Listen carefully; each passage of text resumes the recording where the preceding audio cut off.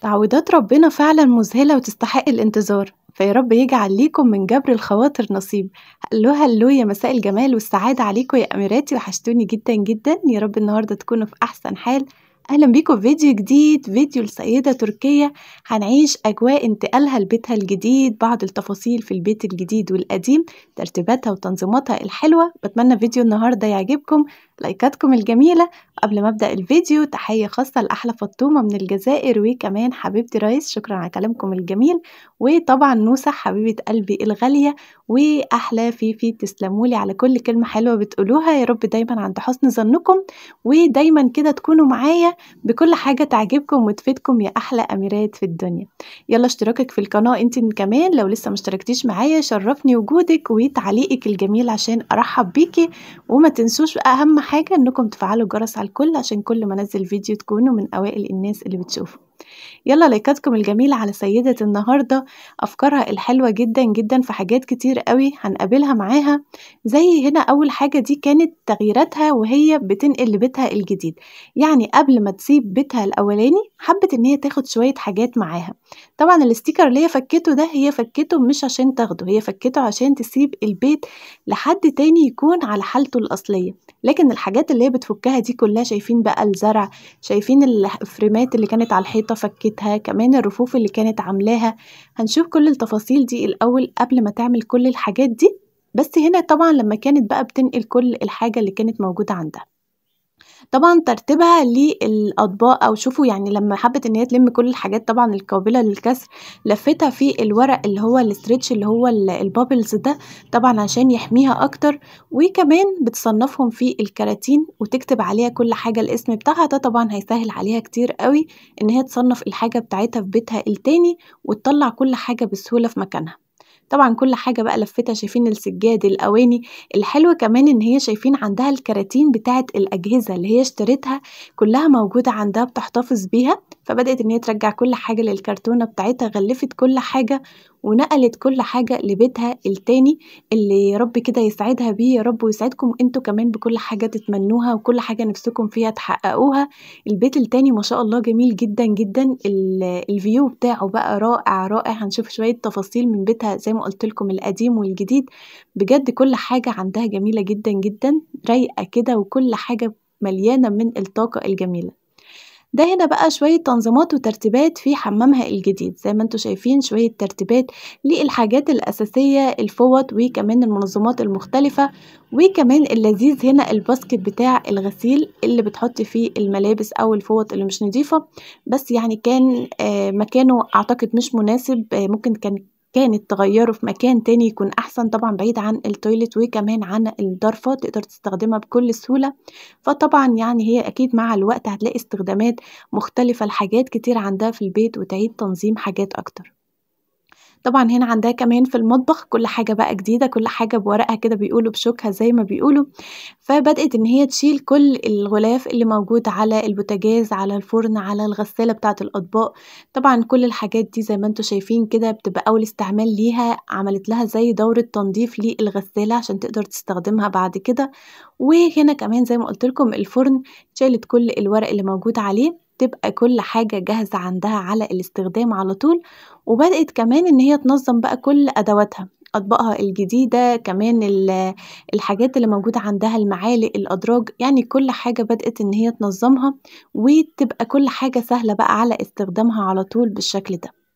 طيب تعالى نشوف معاها شوية تفاصيل من روتينها في البيت الأولاني وبعض التنظيمات والتغييرات اللي كانت بتعملها وترتيباتها الحلوة زي هنا عندها فكرة الدولاب اللي عاملاه لتنظيم السناكس حاجات الحلويات كمان حاجات البقوليات المكرونات والرز وكل أنواع التوابل والحاجات دي كلها في مكان واحد. اللي عاجبني فيه إن هو مساحته كبيرة ياخد حاجات كتير عاملة فوق ظرف كمان وكمان فكرة الرفوف المتحركة من الحاجات الجميلة جدا جدا لو بتدوري على تصميم جديد لأنها تبقى سهلة عليكي في الحركة هتقدري تطلعيه بكل سهولة وتشوفي مكان كل حاجة موجودة عندك لأن دايما لما تكون الضرفة عميقة لجوه بتقدريش إن أنت تطلعي أو تشوفي كل حاجة موجودة فطبعا فكرة إنك تسحبي الرف لبره هتبقى تغنيكي عن المشاكل أو المجهود اللي بتعمليه وأنت بتدوري على أي حاجة. تعالوا كمان هنا نشوف شوية بقى من ترتيباتها وروتين تنظيمها وترتيبها لغرفة النوم المنظمات الحلوة شوفوا تنظيمها للساعات في box جميل نظمت فيه كل حاجة كمان المنظمات اللي بدأت تنظم فيها أدوات ال make up الخاصة بيها وكمان التوك الحاجات الخاصة كلها بيها نظمتها بشكل حلو وكمان الحاجات اللي بتستخدمها بقى شبه يوميا ال perfume أو السيرم أدوات ال make up اللي بتستخدمها على طول نظمتها كمان على المكتب بطريقة حلوة ومنظمات شكلها شيك.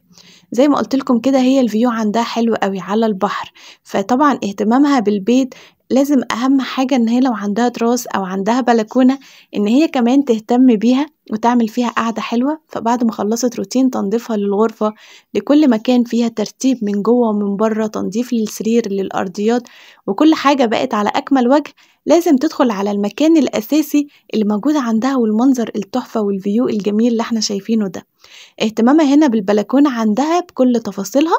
سواء تنظيفها البلكونة نفسها أو الديكورات تنظيفها كمان للإزاز من جوه ومن بره يعني إن هي بس مش مجرد إن هي بتعمل من فوق الوش كده لأ إن هي تهتم بكل التفاصيل اللي موجودة فيها.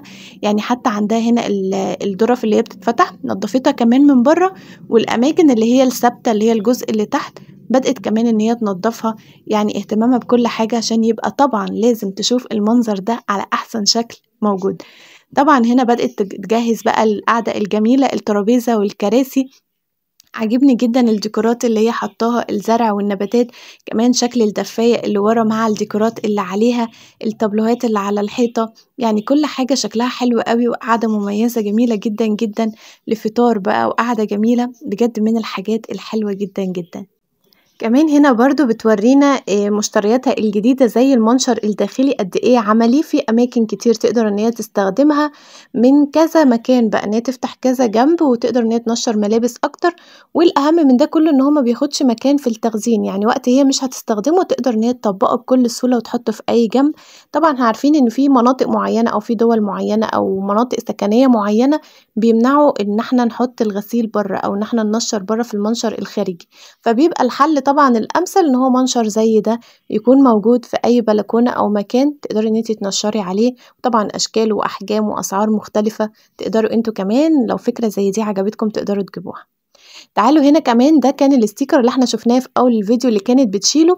قبل ما طبعا آه تنقل بقى زي ما قلنا كده للبيت الجديد وهي لسه بتعمل ال sticker ودايما أقول لكم إن ال stickers ده من الحاجات اللي لازم تهتموا بيها قوي. لو أنتوا حابين تعملوا فكرة زي دي لازم تهتموا إن هو يكون نوع كويس ما يكونش نوع سيء عشان تقدري إن انتي تحافظي على المطبخ بتاعك ما تضطريش إن انتي تغيريه كل شوية.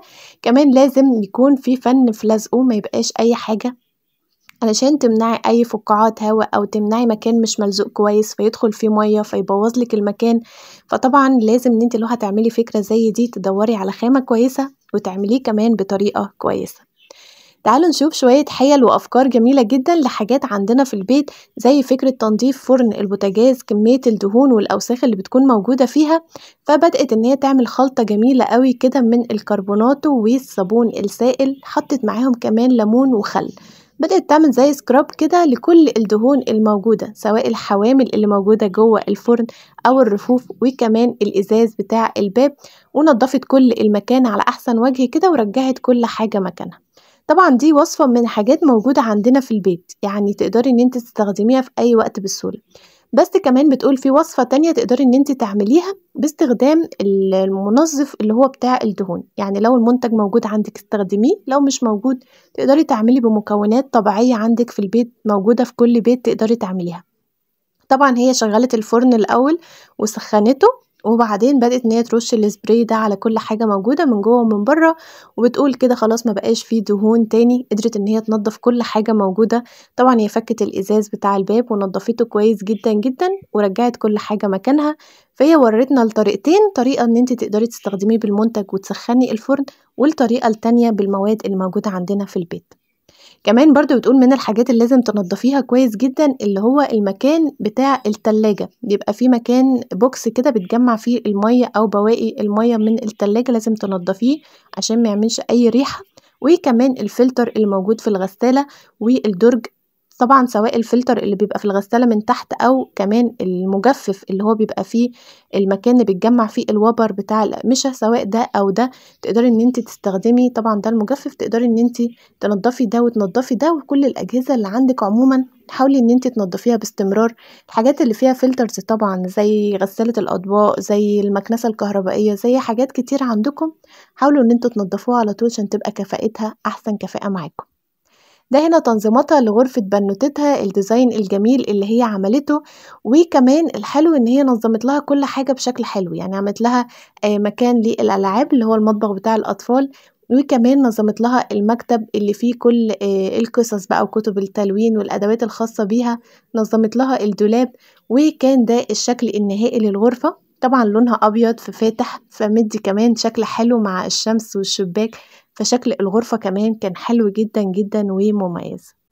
نوصل هنا مع بعض بقى لآخر جزء من الفيديو والحاجات اللي أنتوا كمان بتحبوها بتطلبوها دايما تنظيمات المطبخ زي هنا تنظيمها للدرف استخدامها للمنظمات المختلفة وطريقة الترتيب والتنظيف للمكان كله سواء تنظيفها للحاجات الداخلية اللي جوه أو الحاجات الخارجية شفنا اهتمامها بتنظيفها للأجهزة مش بس الأجهزة الكبيرة اللي هي الغسالة والتلاجة والبوتاجاز وكده لأ حتى الأجهزة الصغيرة اللي بتستخدمها على الرخامة الكتل أو مكنة القهوة أو العجان أو كل الحاجات دي كلها برضو بتهتم بنظافتها زي ما هنشوف مع بعض.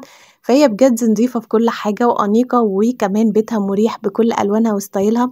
هنتابع معاها بعد كده فيديوهات بقى من بيتها الجديد فبتمنى إن أنتوا تتابعوني عشان نشوف كل جديد عندها. وكمان بعتذر لكم على ال comments بتاعت فيديو امبارح كانت بجد حاجة غصب عني. وبتمنى إن أنتوا لو لسه مشفتوش فيديو امبارح وكتبتوش تعليق عليها ادخلوا واكتبوا لي تعليق. هي أعتقد إن هي ظبطت خلاص فادخلوا شرفوني بتعليقاتكم كمان الجميلة للطفلة الجميلة العراقية. فيا رب يكون فيديو النهارده كمان عجبكم متنسوش لايكاتكم الجميلة وتعليقاتكم الحلوة على فيديو النهارده. ولو حابين أي حاجة اكتبوا لي في ال comments وأنا أحاول إن أنا أجيبها لكم إن شاء الله وأكون دايما عند حسن ظنكم بالحاجة اللي تعجبكم وتفيدكم. نتقابل بكرة على خير يا أحلى أميرات بفيديو جديد وأفكار جديدة وسيدة جديدة عشان نخلي بيتنا أحلى بيت في الدنيا.